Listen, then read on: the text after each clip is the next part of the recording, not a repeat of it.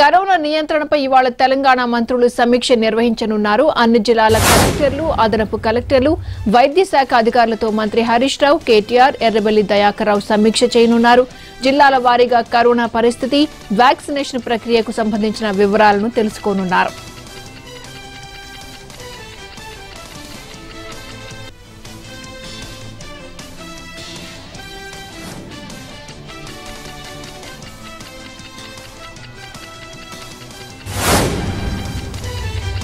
పీఆర్సీపై పై ప్రభుత్వంతో తాడోపేడో తేల్చుకునేందుకు సిద్దమవుతున్నాయి ఉద్యోగ సంఘాలు. పీఆర్సీపై పోరాడేందుకు ఉద్యోగ సంఘాలు ఏకతాటిపైకి వస్తున్నాయి. ఇవాళ అన్ని సంఘాలు సమావేశమై భవిష్యత్ కార్యాచరణ ప్రకటిస్తామని జేఏసీ మీటింగ్ తర్వాత సమ్మె నోటీసులు ఇస్తామని చెప్తున్నారు నేతలు. అయితే ఉద్యమంలోకి అడుగు పెడితే వెనక్కి తగ్గేది లేదన్నారు. జీతాలు పెంచకుండా అలవెన్సుల్లో కోత విధించడం వల్లే మళ్ళీ సమ్మె బాట పట్టినట్లు తెలిపాయి ఉద్యోగ సంఘాలు.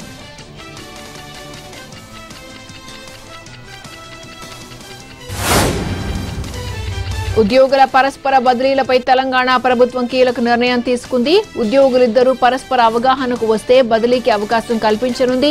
ఉద్యోగుల విజ్ఞప్తులన్నింటినీ పరిశీలించామని భార్యాభర్తల కేసులను తక్షణమే పరిష్కరించాలని సీఎం కేసీఆర్ అధికారులను ఆదేశించారు.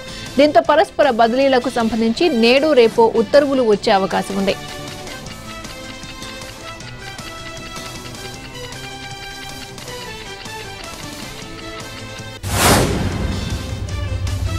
తెలంగాణ బీజేపీ రాష్ట్ర కార్యాలయానికి ఉగ్ర ముప్పు ఉందన్న హెచ్చరికలతో హైదరాబాద్ పోలీసులు అప్రమత్తమయ్యారు. గణతంత్ర దినోత్సవ వేడుకలతో నాంపల్లి పార్టీ కార్యాలయం వద్ద భద్రతను పెంచారు.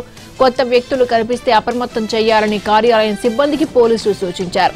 జనవరి ఇరవై ఆరు వరకు అప్రమత్తంగా ఉండాలని రాత్రి సమయంలో గస్తీని ముమ్మరం చేయాలని పోలీసు ఉన్నతాధికారులు ఆదేశించారు.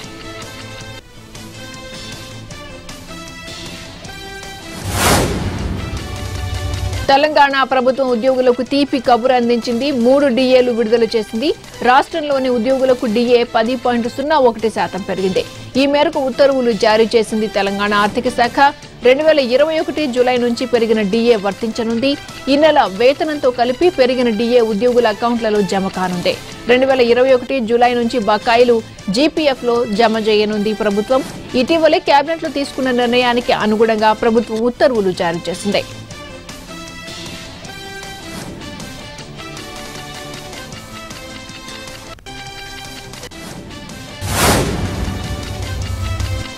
ఏపీలో కరోనా కేసులు భారీగా పెరిగాయి. థర్డ్ వేవ్లో పదివేల మార్కును క్రాస్ చేసింది. గడిచిన ఇరవై నాలుగు గంటల్లో నలభై ఒక్క వేల టెస్టులు చేయగా కొత్తగా పదివేల యాభై ఏడు కరోనా కేసులు నమోదయ్యాయి. ఎనిమిది మంది కరోనాతో ప్రాణాలు కోల్పోయారు.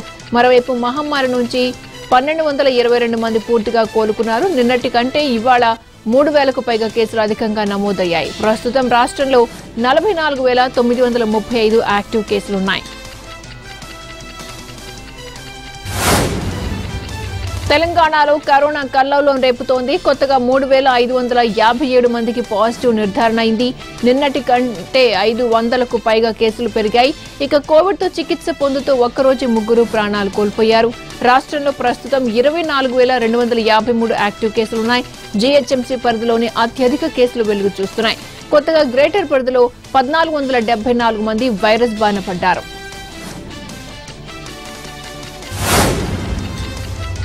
ఇండియాలో ఇరవై నాలుగు గంటల్లో రెండు లక్షల ఎనభై రెండు వేలకు పైగా నమోదయ్యాయి. అయితే నిన్న నిన్నటితో పోలిస్తే కేసుల సంఖ్య పెరిగింది. యాక్టివ్ కేసుల సంఖ్య ఇరవై లక్షలకు పెరిగాయి. ఇక ఇండియాలో ఇప్పటి వరకు ఎనిమిది వేల ఆరు వందల తొంభై ఒక్క కేసులు ఒమిక్రాన్ వేరియంట్గా నమోదయ్యాయి. రోజువారీ పాజిటివిటీ రేటు కూడా పెరిగింది.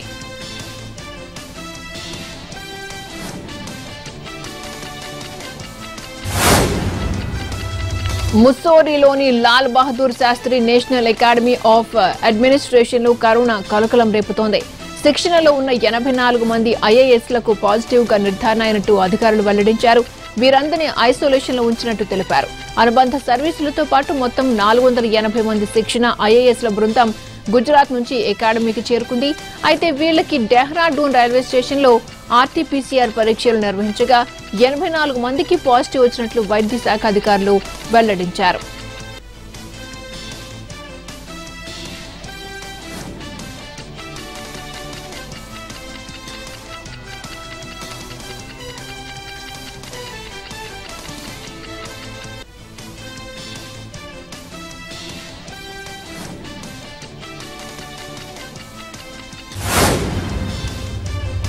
ప్రస్తుతం దేశంలో కరోనా థర్డ్ వేవ్తో పాటు ఒమిక్రాన్ వ్యాప్తి రోజు రోజుకి పెరుగుతోంది. అయితే మాస్కులు ధరించిన వారిపై మహారాష్ట్ర ప్రభుత్వం కఠినంగా వ్యవహరిస్తోంది. బహిరంగ ప్రదేశాల్లో మాస్క్ ధరించని వారి నుంచి బృహన్ ముంబై కార్పొరేషన్ ఎనభై ఆరు కోట్ల నలభై రెండు లక్షలకు పైగా జరిమానా వసూలు చేసింది. ఒక ముంబైలోనే అరవై తొమ్మిది కోట్ల మూడు లక్షల రూపాయలు వసూలు చేసింది. ముంబై పోలీసు రైల్వే శాఖ జరిమానాలను విధించారు.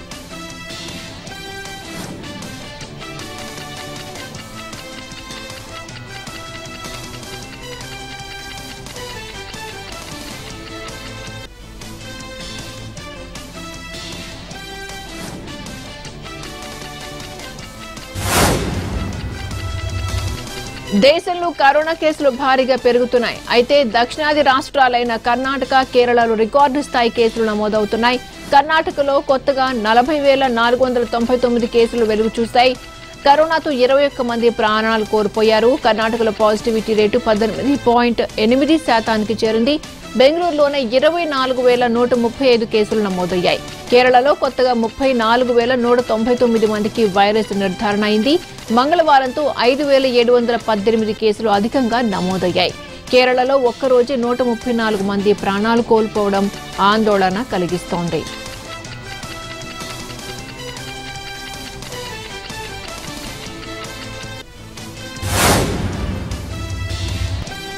కరోనా వ్యాక్సిన్లైన కోవాక్సిన్ కోవిషీల్డ్లకు అత్యవసర వినియోగానికి మాత్రమే ప్రభుత్వం అనుమతి ఉంది.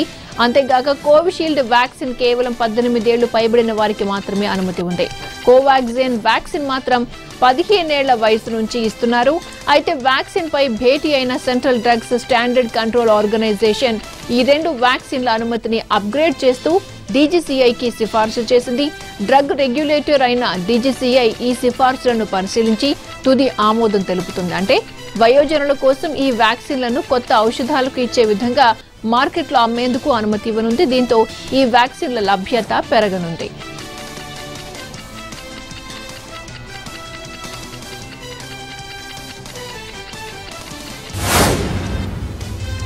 ప్రపంచవ్యాప్తంగా గత వారం కోటి ఎనభై లక్షల కరోనా కేసులు నమోదైనట్లు డబ్ల్యూహెచ్ఓ తెలిపింది. అంతకు ముందు వారంతో పోలిస్తే ఇరవై రెట్లు పెరిగినట్లు వెల్లడించింది. మరణాల సంఖ్య స్థిరంగా నలభై ఐదు వేలుగా ఉన్నట్లు తెలిపింది. ఆఫ్రికా మినహా ప్రపంచంలోని అన్ని దేశాల్లో కరోనా కేసులు పెరిగినట్లు చెప్పింది.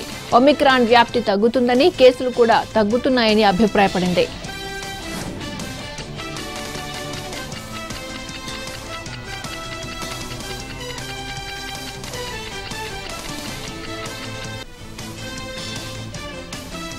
వెల్కమ్ బ్యాక్ కర్నూలు జిల్లా నంద్యాలలో కారుతో హల్చల్ చేశాడు వ్యక్తి.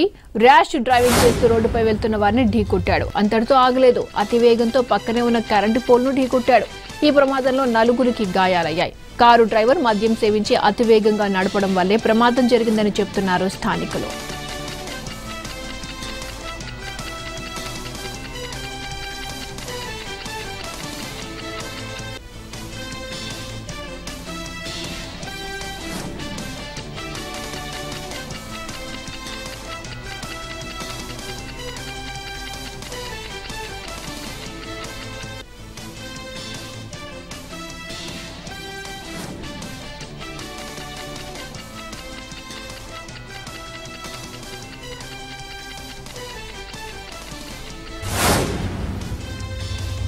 కర్నూలు జిల్లా గడివేముల తహసీల్దార్ కార్యాలయంలో ఏసీబీ అధికారులు సోదాలు చేశారు. సిబ్బంది వద్ద అనధికారికంగా ఉన్న నగదు పాస్ పుస్తకాలను స్వాధీనం చేసుకున్నారు. రైతులు స్థానికుల ఫిర్యాదుతో సోదాలు నిర్వహించారు ఏసీబీ అధికారులు.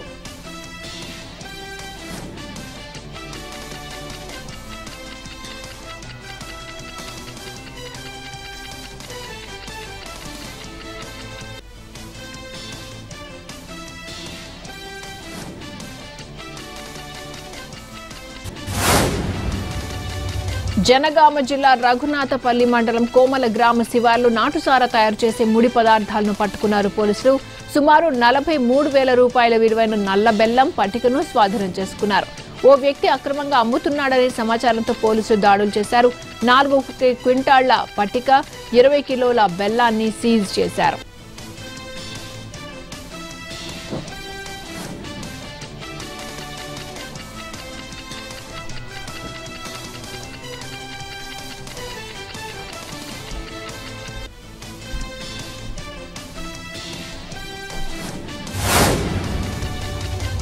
కడప జిల్లా మైదుకూరు మండలం మిట్టమానుపల్లెలో వారం రోజుల క్రితం అదృశ్యమైన ఓ వ్యక్తి శవమై కనిపించాడు.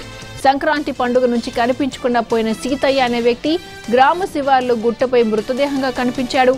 వారం రోజుల క్రితమే మరణించినట్లు తెలిపారు పోలీసులు. సీతయ్య హత్యకు కారణమైన వారిని కఠినంగా శిక్షించాలని కోరుతున్నారు గ్రామస్తులు.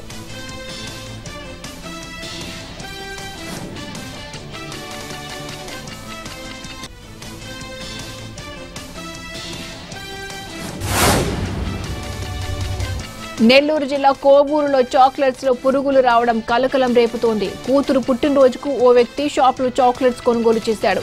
అయితే వాటిని పిల్లలందరికీ పంచారు. చాక్లెట్స్ ఓపెన్ చేసి చూస్తే పురుగులు కనిపించాయి. అన్ని చాక్లెట్స్ లోనూ చిన్న చిన్న పురుగులు బయటపడ్డాయి.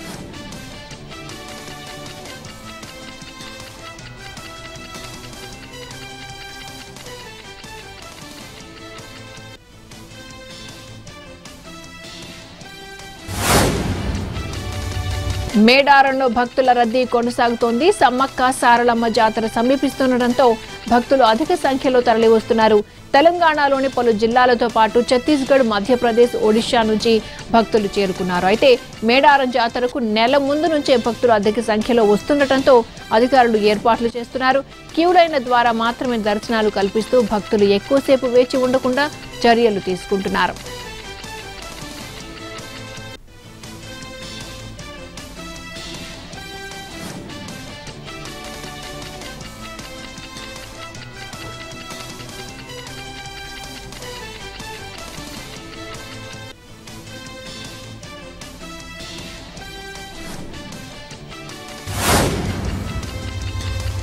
శ్రీశైలం మండలం సున్నిపెంటలో మరొక ఎలుగుబంటిని పట్టుకున్నారు అధికారులు. గత పది రోజులుగా సున్నిపెంటలో వివిధ ప్రాంతాల్లో అర్ధరాత్రి ఇళ్ళ మధ్యలోకి సంచరిస్తున్న ఎలుగుబంట్లను పట్టుకునేందుకు పలు ప్రాంతాల్లో బోన్లు ఏర్పాటు చేశారు.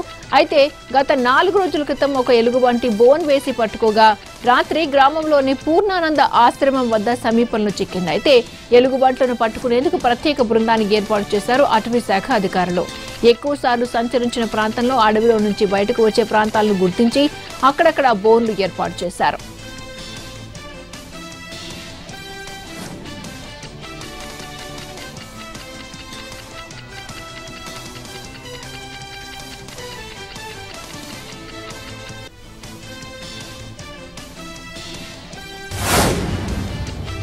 పశ్చిమ గోదావరి జిల్లా చింతలపూడి వద్ద అగ్ని ప్రమాదం జరిగింది. మారుతి నగర్లో హెచ్పీ పెట్రోల్ బంక్ పక్కన ఉన్న షాపింగ్ కాంప్లెక్స్లో మంటలు వ్యాపించాయి.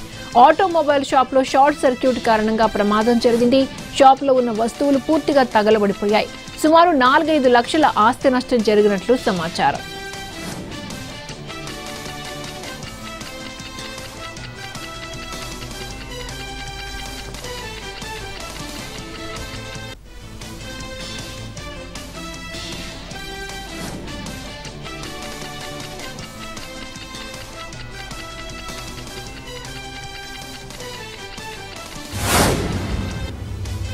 వేములవాడ రాజరాజేశ్వర స్వామి వారి హుండీ ఆదాయాన్ని లెక్కించారు అధికారులు. పంతొమ్మిది రోజులకు గాను కోటి యాభై వేల ఏడు వందల అరవై నాలుగు రూపాయల నగదు ఎనభై ఐదు గ్రాముల బంగారం ఐదు కిలోల వెండి సమకూరాయి. భక్తులు హుండీలు సమర్పించిన నగదు బంగారు వెండి కానుకలను ఆలయ ఓపెన్ స్లాబ్ ప్రాంగణంలో లెక్కించారు. ఆలయ ఈవో ఆధ్వర్యంలో సీసీ కెమెరా నిఘాలో లెక్కింపు జరిగింది.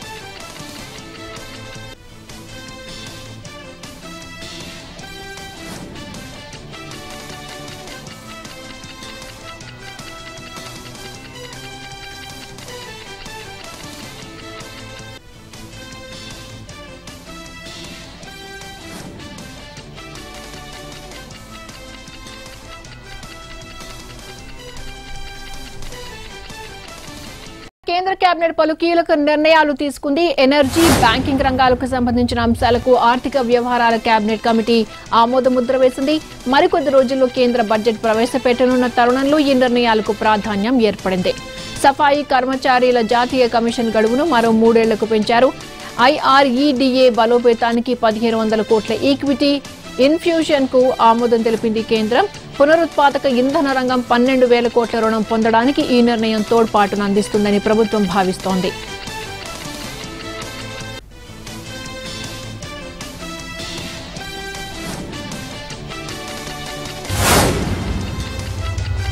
బిపిన్ రావత్ తమ్ముడు విజయ్ రావత్ బీజేపీలో చేరారు. ఉత్తరాఖండ్ సీఎం పుష్కర్ ధామీ సమక్షంలో పార్టీ కండువా కప్పుకున్నారు. ఇండియన్ ఆర్మీలో కల్నల్ హోదాలు విధులు నిర్వహించిన ఆయన కొన్నాళ్ళ క్రితం పదవి విరమణ చేశారు. మోదీ విధానాలు నచ్చడంతో బీజేపీలో చేరుతున్నట్లు చెప్పారు. విజయ్ రావత్ను ఉత్తరాఖండ్ అసెంబ్లీ ఎన్నికల్లో బరిలోకి దింపే అవకాశాలు ఉన్నాయి.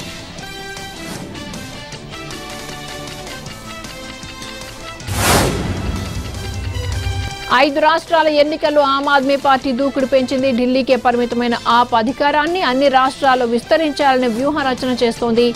గోవా సీఎం అభ్యర్థిని ప్రకటించి ఎన్నికల సమరంలో దిగింది చీపురు పార్టీ. న్యాయవాది సామాజిక కార్యకర్త అయిన అమిత్ పాలేకర్ను ముఖ్యమంత్రి అభ్యర్థిగా నిర్ణయించామన్నారు కేజ్రీవాల్.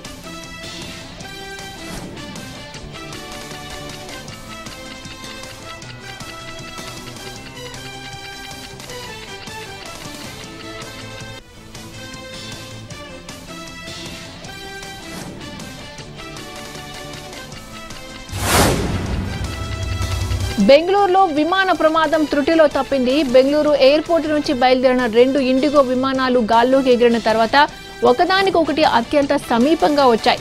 అయితే రాడార్ కంట్రోలర్ అప్రమత్తతతో ప్రే- పెను ప్రమాదం తప్పింది.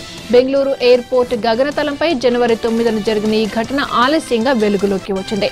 కోల్కతా వెళ్ళే విమానంలో నూట డెబ్బై ఆరు మంది ప్రయాణికులు ఆరుగురు సిబ్బంది ఉండగా భువనేశ్వర్ వెళ్ళే విమానంలో రెండు వందల ముప్పై ఎనిమిది మంది ప్రయాణికులు ఆరుగురు సిబ్బందితో కలిపి రెండు విమానాల్లో నాలుగు వందల మందికి పైగానే ఉన్నారు. అయితే దీనిపై విచారణకు ఆదేశించారు డీజీసీఏ అధికారులు.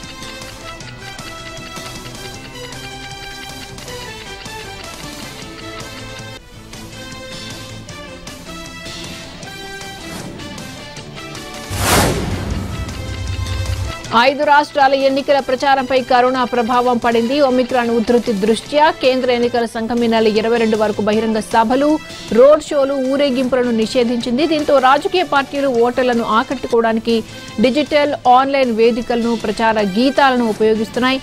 ఫేస్బుక్ యూట్యూబ్ ట్విట్టర్లలో ప్రచారాన్ని హోరెత్తిస్తున్నాయి. గేయ రచయితలు కళాకారులు సినీ నటులు ఆన్లైన్లో ఎన్నికల ప్రచారం చేస్తున్నారు.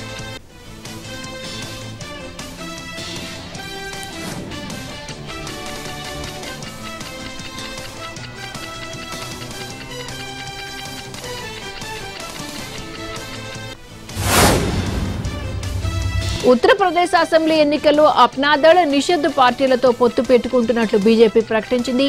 వెనుకబడిన సామాజిక వర్గాల ప్రజలకు ప్రాతినిధ్యం వహిస్తున్న ఈ రెండు పార్టీలతో కలిసి ఎన్నికల్లో బరిలోకి దిగుతున్నట్లు జేపీ నడ్డా వెల్లడించారు. రెండు పార్టీల నేతలతో సమావేశం అనంతరం పొత్తులపై వివరించారు. అయితే సీట్ల పంపకంపై మాత్రం ఎలాంటి ప్రకటన చేయలేదు.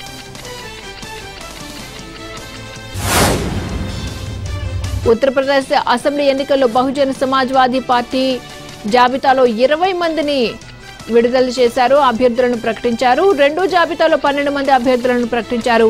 బీఎస్పీ అధినేత మాయావతి అధికారిక ట్విట్టర్ ఖాతా ద్వారా రెండో జాబితాను విడుదల చేశారు. ఈ జాబితాలో పదకొండు జనరల్ స్థానాలు కాగా ఒకటి ఎస్సీ రిజర్వ్డ్ నియోజకవర్గం ఉంది. అయితే ఏడు దశలో జరగనున్న ఉత్తరప్రదేశ్ అసెంబ్లీ ఎన్నికల్లో మొదటి దశలో యాభై ఎనిమిది నియోజకవర్గాలకు ఫిబ్రవరి పదిన పోలింగ్ జరగనుంది. దీంతో బీఎస్పీ మొదటి దశ పోలింగ్కు సంబంధించి ఇంకా అభ్యర్థులను ప్రకటించాల్సి ఉంది.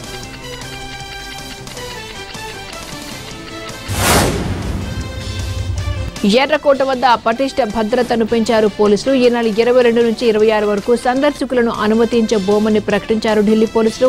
గణతంత్ర దినోత్సవ ఉత్సవాల కోసం మూడంచెల భద్రతా వ్యవస్థను ఏర్పాటు చేయనున్నట్లు తెలిపారు. రిపబ్లిక్ డేకు ఉగ్ర ముప్పు పొంచి ఉండటంతో ఎర్రకోటను నిఘా నీడలోకి తీసుకొచ్చారు ఢిల్లీ పోలీసులు.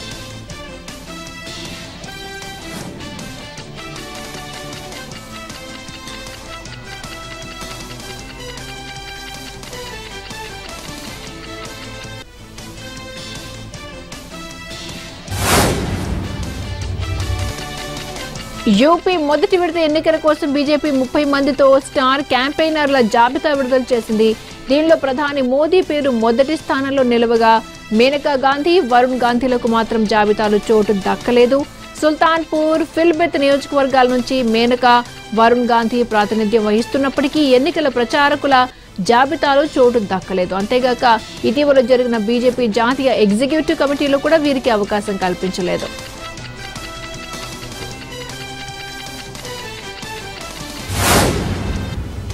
గోవా అసెంబ్లీ ఎన్నికల్లో శివసేన ఎన్సీపీ మధ్య పొత్తు కుదిరింది. శివసేనతో కలిసి పోటీ చేయనున్నట్లు నేషనలిస్ట్ కాంగ్రెస్ పార్టీ నేత ప్రఫుల్ పటేల్ ప్రకటించారు.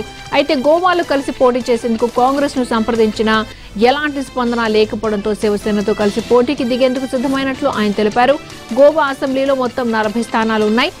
మొత్తం స్థానాల్లో శివసేన ఎన్సీపీ కూటమి పోటీ చేయకపోవచ్చని కానీ ఎక్కువ స్థానాల్లోనే పోటీ చేస్తామని అన్నారు.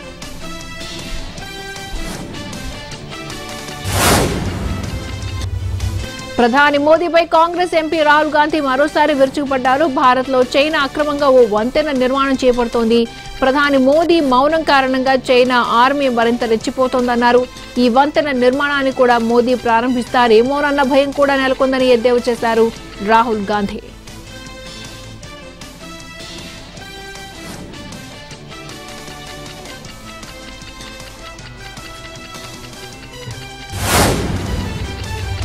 భారత్లో పదిహేను నుంచి పద్దెనిమిదేళ్ళ వయసు గ్రూప్లో యాభై శాతం మందికి వ్యాక్సినేషన్ పూర్తయింది. ఈ విషయాన్ని కేంద్ర ఆరోగ్య శాఖ మంత్రి మన్సుఖ్ మాండవీయ ట్విట్టర్ ద్వారా వెల్లడించారు. దీనిపై ప్రధాని హర్షం వ్యక్తం చేశారు. ఇది ఎంతో ప్రోత్సాహకరమైన విషయం అన్నారు. యువ భారత్ వ్యాక్సినేషన్లో ఓ దారిని చూపిస్తోందని దీన్ని ఇలాగే కొనసాగించాలని చెప్పారు ప్రధాని.